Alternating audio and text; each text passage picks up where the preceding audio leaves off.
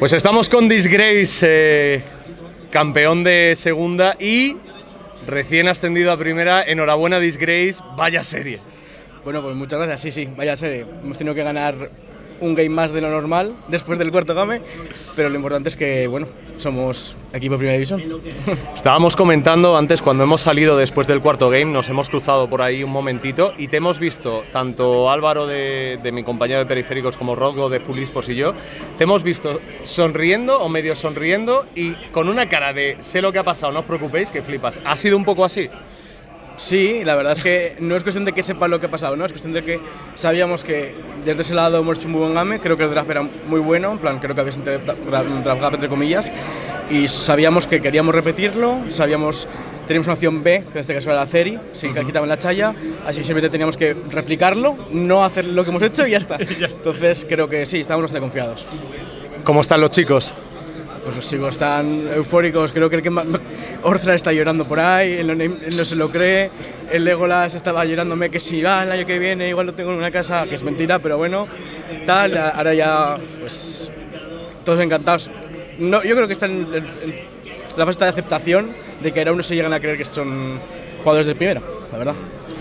Y eso tiene que ver un poco también de dónde venís, porque hay un pasado por ahí en el amateur, eh, está el grupo que se consolidó en Kiwis, una decisión también importante por parte del club, el llevaros tanto a ti como, como a unos cuantos chicos de, de, Kiwis ahí. ¿Cómo has visto la evolución también de, de, tus jugadores, no solamente los de Kiwis, obvio, sino de todo el bloque?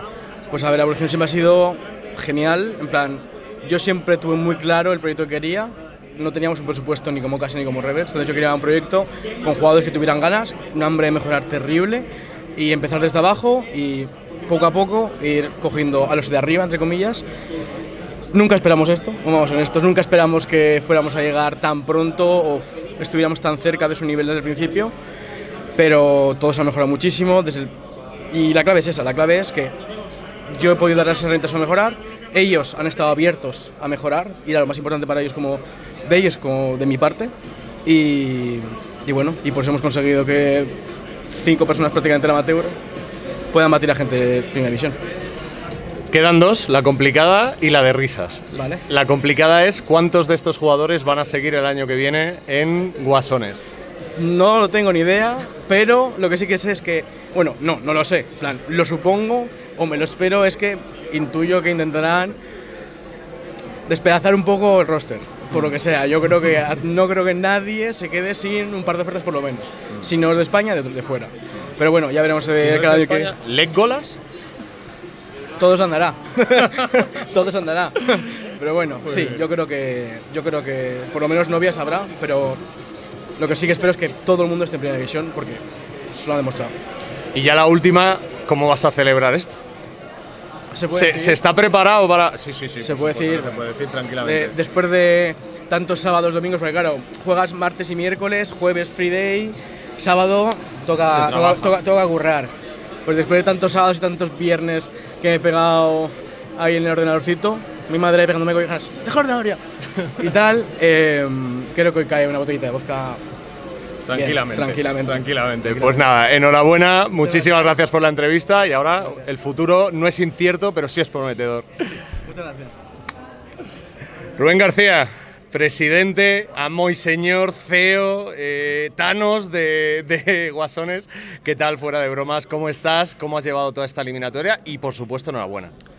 Eh, pletórico por dentro, entusiasmado, felicidad, vamos, todo lo bueno pero hemos sufrido mucho. Eh, ha sido eh, un quinto mapa que bueno, pues prácticamente como los otros cuatro, ¿no? Ah, eh, se iba a decidir en Teamfight, en cualquiera, ¿no? En esta, ¿no? En la siguiente, tal. Y ya habéis visto también el, cuarto mapa como ha sido, ¿no? Como ese 3-1 que podía venir, que parecía que íbamos nexo, nexo, full nexo, como dice Ibai, full nexo, full nexo.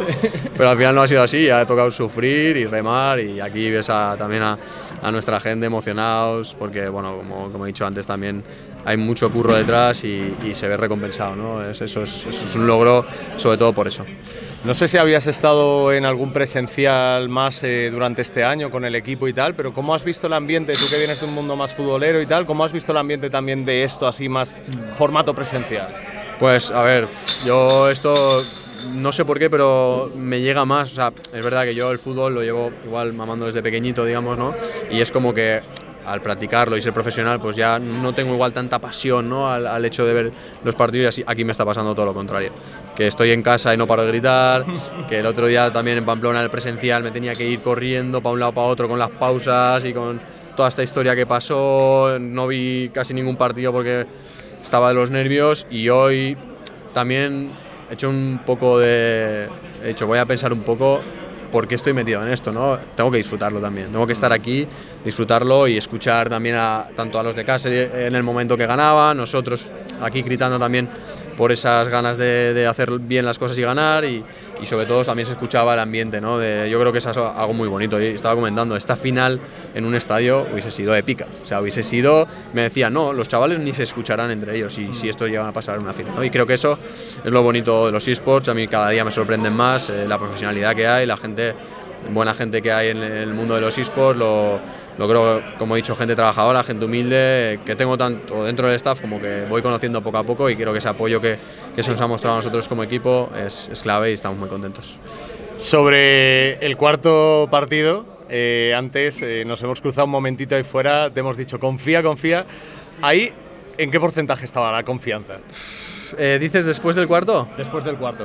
Yo pensaba que se nos iba y, no por nada, evidentemente, la, confianza en los chavales es totalmente plena, pero creo que habíamos llegado ya a un punto de, A ver, realmente no sabíamos qué iba a pasar, pero yo mentalmente tenía que ser negativo porque es que no me cabía ya más, más cosa dentro, pero pero realmente en el fondo sí que pensaba que podíamos hacerlo porque creo, creo que hemos llegado a un mejor momento que ellos, que creo que en ese aspecto a nivel de equipo era clave, más allá de que mm, poco cabe decir de jugadores que han estado en mundiales, jugadores que, que venían aquí con, vamos, prácticamente para arrasar la liga y, y, que sabíamos que en un mapa pues que puede pasar cualquier cosa, ¿no? Entonces estaba cagado, la verdad. Mira, no sé si ves ahí el huequito, eso es primera división. De 0 a 100, contando con el marrón que es, ¿Cuántas ganas tienes de llegar allí? A ver, eh, son 200, porque son 200, porque si algo tenía en mente cuando empecé este proyecto solo en FIFA, que fue hace año y medio, dos, era que ojalá poder tener un equipo de LOL, equipo de LOL. Eh, nos presentaron muchos proyectos para poder, digamos, personas y gente que quería asumir también llevar el club eh, de otra forma y, nos decían que nos olvidáramos de Superliga. Y hoy estamos aquí diciendo que somos equipo de Superliga. Qué bonito suena, ¿eh? Sí, suena muy bonito. Bueno, Araujo ya te ha dado la alternativa, ya, te ha dicho, el jefe te ha dicho que bienvenido, o sea que... No, no, me ha dejado, no me ha dejado, me está diciendo que, que o le doy caña o nada, ¿no? Pero, pero bueno, eh, contento por, por, por, lo que se viene, seguramente, no, no, somos conscientes de la dificultad que es estar en una Superliga, pero vamos con la máxima ilusión, las máximas ganas de hacer lo mejor posible. Un anuncio, un, un dicho para la afición, para toda esa gente que os ha estado siguiendo pues agradecerles sobre todo el apoyo porque para nosotros ha sido clave que, bueno, que hayan apostado por nosotros, que nos hayan seguido desde, desde el primer momento. Creo que, pues como, como bien sabéis un poco la narrativa, íbamos como equipo a priori tier C, pero a medida, a base de trabajo, a base de, pues bueno, de unirnos a, a la locura, ¿no? como hemos dicho desde el primer minuto, hemos ido convenciendo y creo que lo más importante, y, y eso sobre todo lo he dicho mucho a nivel interno, a la gente del staff y a la gente que, ha trabajado este año en Guasones es que más allá del tema deportivo que iba, estaba yendo muy bien, creo que la clave era la comunicación y toda la atracción que estábamos teniendo para, para, esa, para tener esa fanbase. ¿no? Y creo que a día de hoy es lo mejor que tenemos, lo que más nos llevamos y queremos seguir pues, bueno, dando alegrías y aportando cositas a los esports, ya que ahora mismo somos novatos, somos principiantes, pero venimos con muchísimas ganas. Pues nada, Rubén, muchísimas gracias, enhorabuena.